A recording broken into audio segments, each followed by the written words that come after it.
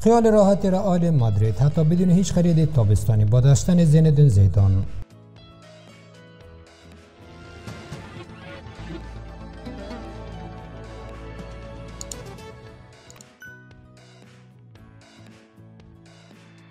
زندون زیدان پیش از این ثابت کرده است که برای قهرمان کردن رئال مادرید نیاز چندانی به خریدهای بزرگ و هزینه زیاد ندارد. با نقل از مارکا رئال مادرید تابستان امسال هیچ بازیکن جدید جذب نخواهد کرد. اما اونطور که فلورنتینو پرز رئیس باشگاه شب قهرمانی لالیگای رئال گفته بود با دلیل مشکلات اقتصادی پس کرونا امسال بازیکن جدید برای رئال مادرید اضافه نخواهد شد.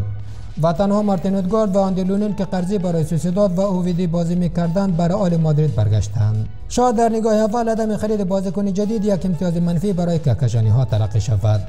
ولی زینالدین زیدان که در چهار سال هدایت رئال مادرید را بر عهده داشته 11 قهرمانی برای این تیم کسب کرده است. برای کسب هشتای آنها تنها 70 میلیون یورو هزینه کرده بود.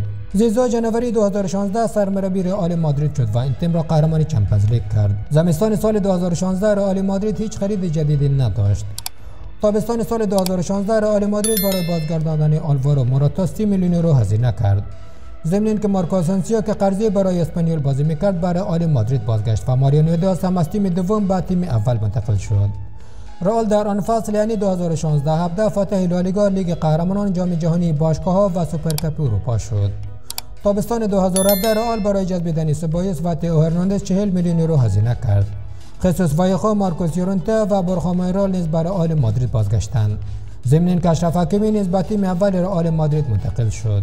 در آن فصل یعنی فصل 2017 18 رئال مادرید قهرمانی Champions League، جام جهانی باشگاه‌ها و سوپرکاپ اسپانیا و اروپا را جشن گرفت.